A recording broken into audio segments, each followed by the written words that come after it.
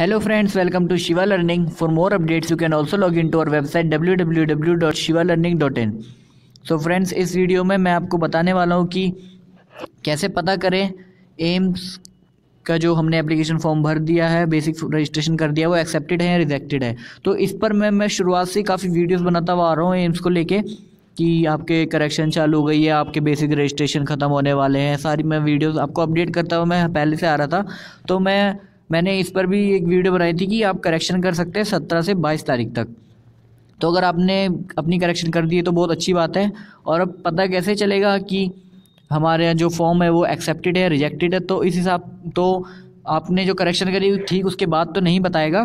But मेरे पास एक AIIMS की तरफ़ से ही नोटिस है और इसमें क्या लिखा है मैं आपको बताता हूँ। तो इसमें जो लिखा है, जो फाइनल स्टेटस है, वो 25 तारीख, यानी कि कल आपको पता चल जाएगा कि फॉर्म आपका एक्सेप्टेड है या रिजेक्टेड है। इसमें सारी डेट्स लिखी हुई हैं। इसमें बेसिक रजिस्ट्रेशन स्टार्ट कब से हुआ, कब क्लोज हुआ एक्सटेंडेड डेट उसकी और जो करेक्शन करनी थी सत्रह से बाईस तारीख तक वो लिखी हुई है। हाईलाइटेड में आप देख सकते हैं, सत्रह एक से बाईस एक तक करेक्शन थी। ठीक उसके नीचे लिखा हुआ है final status accepted and rejected of basic registration for M B B S two thousand nineteen तो वो पच्चीस तारीख दो हज़ार उन्नीस, यानी कि कल आपको पता चल जाएगा कि आपका बेसिक रजिस्ट्रेशन फॉर्म एक्सेप्टेड है या रिजेक्टेड है।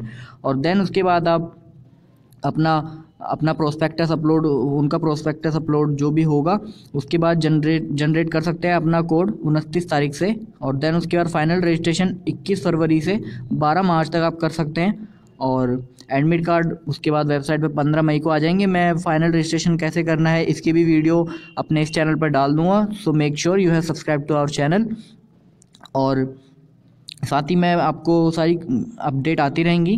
तो ऐसी अपडेट्स के लिए इस वीडियो में गाइज़ इतना ही। तो ऐसी अपडेट्स के लिए और रेगुलर अपडेट्स एम्स नीट और जेई के लिए हमारा चैनल शिवा लर्निंग ज़रूर सब्सक्राइब कर लीजिए। सारी अपडेट्स हम आपको देते रहेंगे।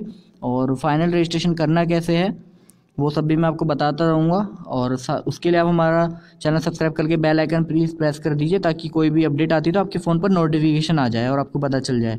तो मिलते हैं नई वीडियो में ऐसी नई नई जानकारियों के साथ। तब तक के लिए नमस्कार।